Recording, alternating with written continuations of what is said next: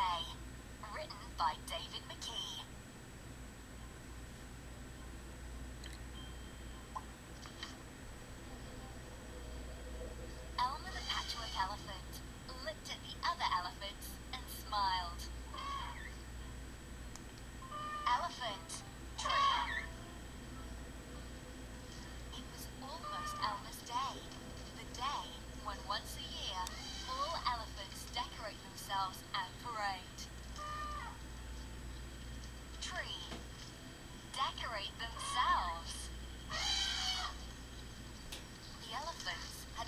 just begun to prepare for it, but they were already excited and noisy.